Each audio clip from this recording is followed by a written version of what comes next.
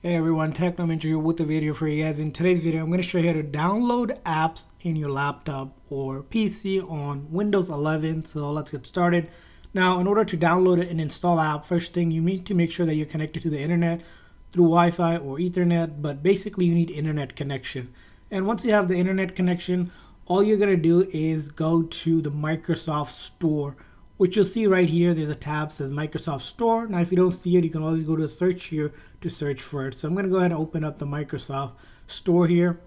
Now, once you open up the Microsoft Store, what you're gonna see is this page that has basically where all the apps are. But in order to download any apps, you need to create a Microsoft account, which is free to do. Here, I'm already creating one. It's signed in. Now, if you don't have one, you can create one for free, but you will need a Microsoft account uh, signed in in order to uh, download and install app. You don't really need a payment because a lot of the apps are free. So after that, you can go ahead and here search for a specific app or browse around. So you can go click on browse here, and then you'll see all the apps that are available for you to download here. You can see, you can see a lot of these apps that are available here and you can go see some of the free ones, paid one. For example, if I wanted to download Netflix, I would just click on that.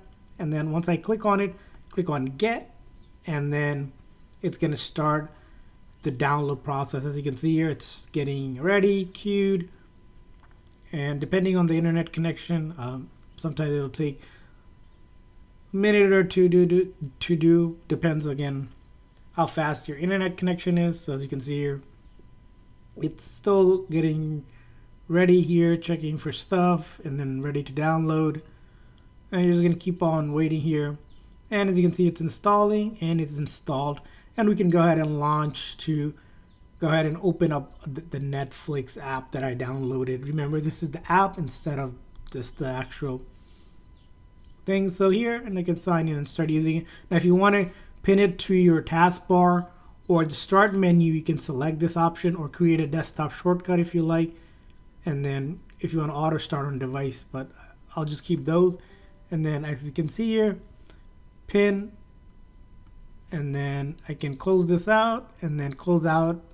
And then I'll see here I have downloaded successfully the app here itself. And I can go ahead and open it up and start using it just like that. So that's how you can download and install apps on your Windows PC laptop. I hope this video was helpful. So please consider the like and subscribe button for more tips and tricks. We'll see you guys next time.